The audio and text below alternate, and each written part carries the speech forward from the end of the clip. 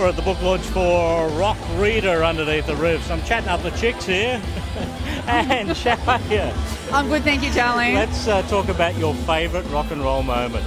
My favourite rock and roll moment was with Ian Moss in 1983 when I was 16 years old. And tell us what happened.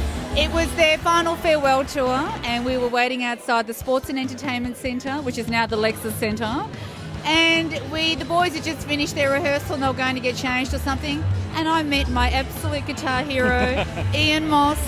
Mossy. Beautiful, beautiful, beautiful, shy boy. About? I didn't want to sound like a dickhead, so I said to him, "How's the tour going?" And he said, "Oh, really good." And I said, um, "What have you been your favourite moments so far?" And he said, "Oh."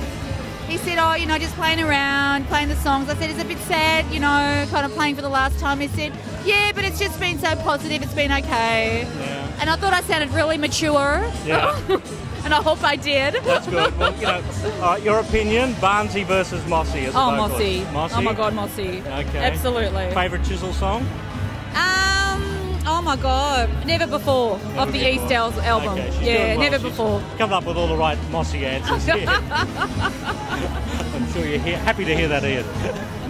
Now this Neil Diamond song has reminded me of another favourite moment. All right. Doing housework as a 12-year-old to Mum's Hot August Night, Okay. playing in the background. Well, maybe that's a maybe that's a story later, Angie. We might get into that another time.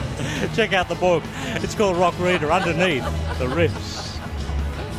And you're joining us here at Undercover.